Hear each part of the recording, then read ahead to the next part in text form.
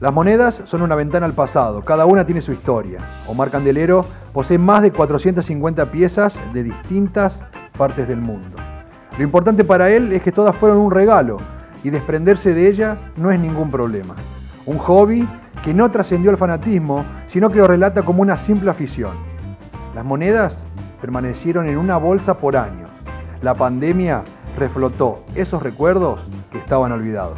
¿Cómo comenzó? No sé, no lo recuerdo de años, yo aún era soltero, ¿cierto?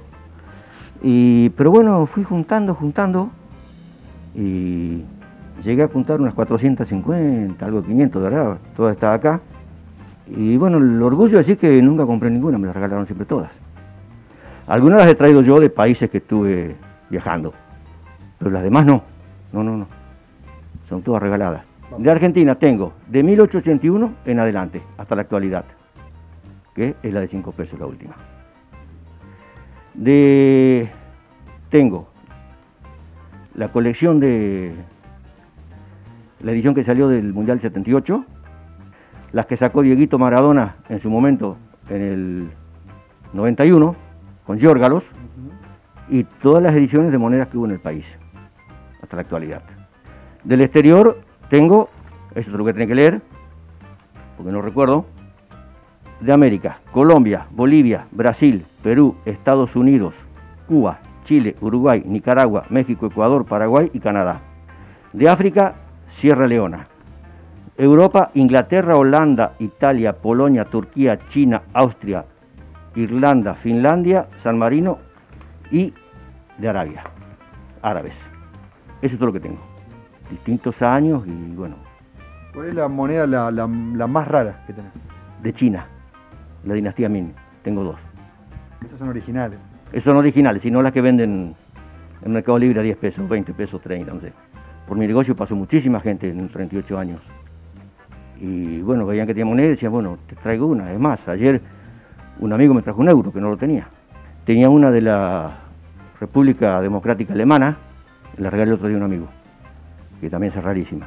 Ese, sí, me había comentado eso. Sí. No sé, bueno, tengo de, todos lados. El sentido de tenerlas para mí es el orgullo que me las regalaron.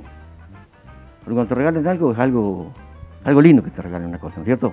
Bueno, a mí me las regalaron las monedas. Comprarlas cualquiera puede comprarlas. Pero a lo largo de tantos años pasó un montón de gente por mi negocio y quien más, quien menos, a todos aportaron. La última fue un euro, pero ¿te acordás cuál fue la primera? La de 1881 de un patacón. Hay monedas de de 10 centavos, 20 centavos, que yo las viví, que yo las usaba. Todas esas sí, esas me retraen recuerdos. Después, bueno, tenés en su momento, eh, pasaron el austral, varios tipos de monedas que fueron pasando. Decir, mirá, está acá, ¿te acordás la que cuando estaban esta moneda, devuelto? Todo eso, ¿viste? Eso sí. Y la del exterior no, porque los países que yo viajé sí, pero los otros no, no, no tengo ni idea. ¿A los países que viajaste esos son los vueltos. Esos son los vueltos, exacto. ¿A qué lugares estuviste viajando vos, Y en América estuve Chile, fui varias veces, Brasil, Uruguay, Paraguay, Bolivia. En Europa estuve en España e Italia.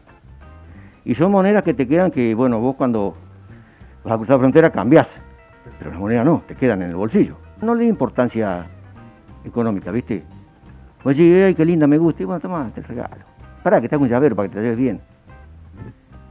No sé, viste, siempre actúe así.